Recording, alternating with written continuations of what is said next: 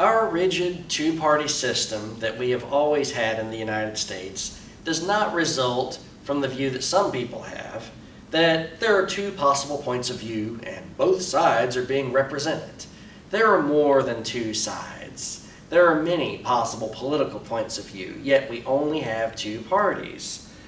Throughout most of our history, these two parties had many little factions within them, but that's no longer the case. The two parties are very rigid and they're getting more rigid.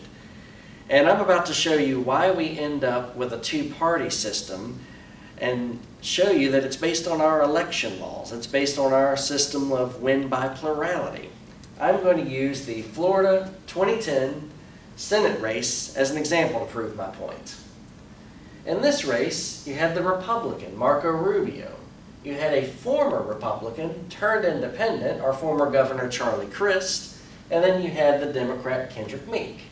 Crist, of course, would be the moderate centrist candidate. Rubio's the solid base Republican. He's backed at the time by the Tea Party. Doesn't get along with them so well lately, by the way. At the time, the Tea Party liked him. And then you've got Kendrick Meek, the base Democrat. Meek thought that he was going to win because Democrats do outnumber Republicans in Florida.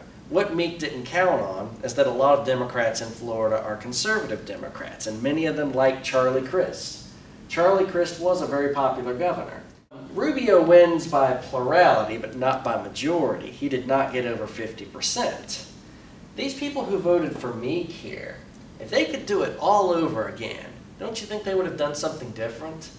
Don't you think that maybe they would have decided, you know something? Crist is better than Rubio. Maybe we should vote for Crist. Crist is the moderate, by the way. He's well liked by both parties. But they didn't do that. They stuck with Meek and thereby split the anti-Rubio vote, and Rubio won. But he won without a majority. That's what's called plurality. You don't need a majority. If we had a six-way race between six different candidates, all with their own little groups of support, one of those six candidates could win with even 28% of the vote. So not even a third would be required. This is why people tend to rally behind one of two candidates in a plurality system.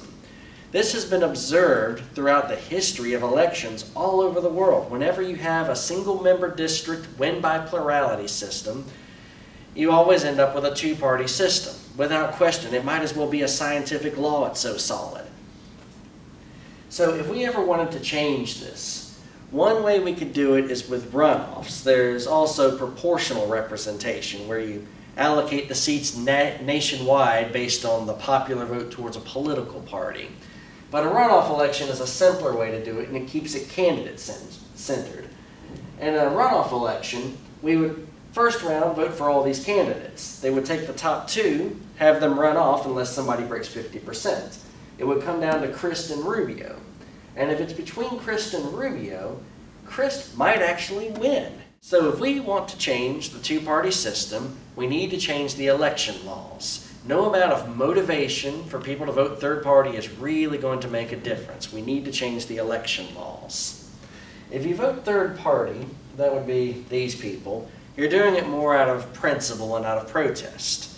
I'll definitely say it's better than not voting at all, but you're not going to win. You're really just voting to make a statement to say, look, I don't like either one of them, or either of the three, I guess, in this case. So I hope this makes sense. Feel free to ask me any questions in the comments below.